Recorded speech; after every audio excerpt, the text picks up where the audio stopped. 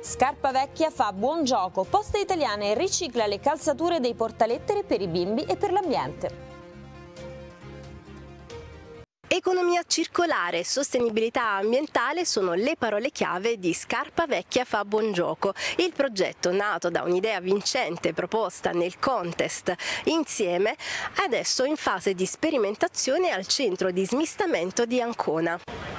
Il progetto consiste nel riciclo dei dispositivi di protezione individuale dismessi, decine di migliaia di scarpe antinfortunistiche in dotazione ad oltre 40.000 tra portalettere e operatori di stabilimento e la loro trasformazione attraverso un processo di triturazione e separazione delle componenti in mattonelle antitrauma per la pavimentazione dei parchi giochi degli asili nido di poste italiane.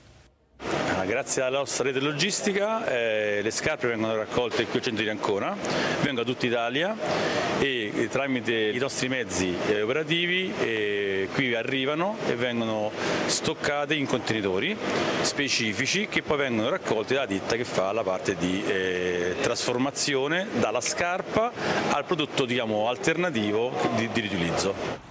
Per sostenere questa iniziativa, capace di coniugare i vantaggi economici dell'economia circolare con la promozione di una maggiore attenzione all'ambiente, Poste Italiane, sin dal giugno scorso, ha invitato i portalettere a contribuire al riciclo di scarpe e dispositivi di protezione ormai usurati e ne ha organizzato la raccolta.